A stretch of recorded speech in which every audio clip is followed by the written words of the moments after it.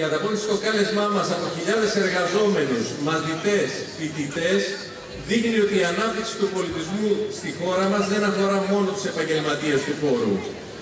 Αντίθετα, η μουσική και οι άλλες τέχνες είναι μια μορφωτική ανάγκη που είναι αναγκαία για όλους και εδώ και δεκαετίες τη στερείται η πλειονότητα του λαού μας.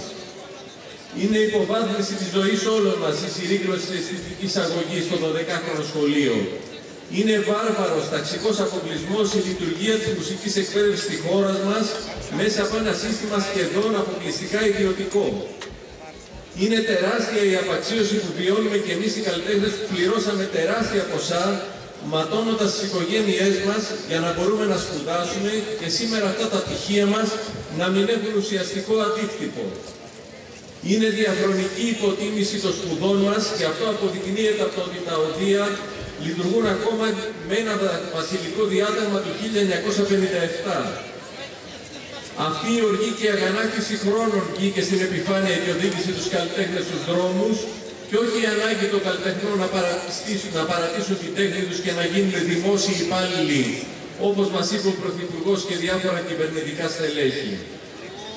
Άλλωστε αυτοί είναι οι κύριοι υπεύθυνοι, όπως και οι προκάτοχοί τους, που έχουν φτάσει τη μεγάλη πλειονότητα των καλλιτεχνών στο σημείο να χρειάζεται να βρίσκουν και ένα δεύτερο επάγγελμα για να μπορούν να ζήσουν εξασκώντας την τέχνη τους. Είναι αυτοί οι οποίοι δύο και δεκαετίες μας έχουν ρίξει στο ρομίστιο, στις αμοιβές φιλοδόρημα, αυτοί που κατάργησαν τις συλλογικές μας συμβάσεις και οποιοδήποτε εργασιακό δικαίωμα. Είναι αυτοί που έχουν ρίξει στη φτώχεια και στην ανέχεια τον ελληνικό λαό και του έχουν στερήσει το δικαίωμα στη διασκέδαση και στην ψυχαγωγία. Είναι αυτοί που έχουν μειώσει τη χρηματοδότηση του πολιτισμού στο 0,004 του προπολογισμού. Όλοι αυτοί οι σημερινοί και οι προηγούμενοι, τρομαγμένοι από το μεγάλο ξέσπασμα των τελευταίων δύο μηνών, μας λένε ότι τώρα αρχίζουν και, και, και κατανοούν, λέει, τα προβλήματά μας. Μας υπόσχονται για άλλη μια φορά μεγάλες τομές για να τα λύσουν. Για να μας βουλώσουν το στόμα ρίχνουν και μερικά ψίχουλα στο τραπέζι, ενώ συγχρόνως προχωρούν τις ακόμα μεγαλύτερη, την ακόμα μεγαλύτερη υποβάθμιση των πτυχίων μας εξισώνοντάς τα με τη διετή κατάρτιση των ΙΕΚ. Τώρα είμαστε πιο δυνατοί. Ξέρουμε ότι η δύναμή μας είναι η απόφαση των πολλών και η διεκδίκηση από τα κάτω. Η δύναμη για μας είναι τεράστια αλληλεγγύη που δίνεται όλες αυτές τις μέρες και εκφράζεται και σήμερα από όλους όσους καταλαβαίνουν ότι αιτήματα, τα αιτήματά μας αφορούν και τους ίδιους, αλλά και όλους αυτούς που ασφιχτιούν στη δική τους ζωή και βλέπουν μια διέξοδο στη διεκδίκηση. Το επόμενο διάστημα βάζουμε μπροστά μας τη διεκδίκηση για δημόσια δωρεάν μουσική εκπαίδευση από τα πρώτα παιδικά χρόνια μέχρι την πανεπιστημιακή βαθμίδα. Καλούμε όλους και όλες, συλλόγους γονέων, μαθητές, μαθητές μουσικών και καλλιτεχνικών σχολείων, φοιτητές, τα πανεπιστημιακά τμήματα της μουσικής εκπαίδευσης, τους εργαζόμενους, να διεκδικήσουμε το σημαντικό μορφωτικό δικαίωμα της καλλιτεχνικής εκπαίδευσης για όλα τα παιδιά και τους νέους, άσχετα από το αν θα γίνουν επαγγελματίες καλλιτέχνες, χωρίς κανένα οικονομικό αποκλεισμό μέσα από ένα δημόσιο σύστημα υγείας και δημόσιο σύστημα εκπαίδευσης. Συνεχίζουμε τον αγώνα μας για την ίδρυση και τη διεύρυνση πανεπιστημίων για παραστατικές και οπτικοακουστικές τέχνες. Εναντιονόμαστε σε οποιαδήποτε ακαδημαϊκή ισοτίμηση των πτυχίων στο επίπεδο των ΙΕΚ. Υπερασπίζουμε μαζί με το φοιτητικό κίνημα το άρθρο 16 και αντιπαλεύουμε τις συνέ... συνέπειες της συνθήκης της Πολώνιας στην πανεπιστημιακή εκπαίδευση. Ζητάμε αναβαθμισμένα επαγγελματικά δικαιώματα που να καλύπτουν τις πολύχρονες, εντατικές και εξειδικευμένες σπουδές μας.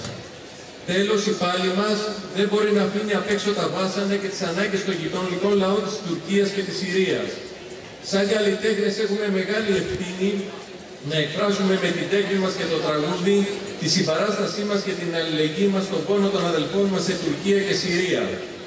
Ένας πόνος που στρέφεται και εκεί, όπως και εδώ, απέναντι σε ένα κράτος που εξυπηρετεί πρώτα τα επενδυτικά συμφέροντα και μετά τις ανάγκες του εργαζόμενου λαού, που από τη μία εξοπλίζεται, απειλή, εισβάλλει και από την άλλη δεν μπορεί να προστατεύσει από τις φυσικές καταστροφές και να καλύψει τις ανάγκες αυτών που παράγουν τον πλούτο. Είναι συγκινητική η αλληλεγγύη που εκδηλώθηκε από το λαό μας προς το λαό της Τουρκίας και η ανταπόκριση και η ευγνωμοσύνη που δεχτήκαμε. Είναι εξοργιστικό το ανατολικό εμπάργκο στη Συρία που αφήνει χιλιάδες θύματα του σεισμού αβοήθητα. Συμβάλλουμε στην έκφραση της αλληλεγγύης μας, συγκεντρώνοντας τα εναγκαία υλικά και χρήματα που θα σταλούν στις σεισμοπαθείς. Τώρα ανάμεσά σας και το επόμενο την επόμενη ώρα θα κυκλοφορούν κουτιά για όσους θέλουν και μπορούν ό,τι μπορούν να ενισχύσουν τους σεισμοπαθείς στις δύο χώρες. Συνεχίζουμε τη σημερινή μεγάλη συναυλία με πληθώρα καλλιτεχνών που από την πρώτη στιγμή εκφράσανε τον ενθουσιασμό τους για τη συμμετοχή στην πρωτοβουλία των σωματείων μας, αλλά και πολλούς άλλους καλλιτέχνες που εκφράσανε τη διάθεση να συμμετέχουν, αλλά δεν θα ήταν δυνατό λόγω χρόνου. Η σημερινή συναυλία μας που θα μπορούσε να χαρακτηριστεί χωρίς διαθέσεις υπερβολής ένα ελληνικό γούστο, θα συμβάλλει στην ακόμα μεγαλύτερη διάδοση των ετοιμάτων μας και στη συνέχιση των αγώνων μας. Ένας αγώνας που πρέπει να επιβάλλει μεγάλες και ουσιαστικές αλλαγές στον χώρο του πολιτισμού και των καλλιτεχνικών σπουδών.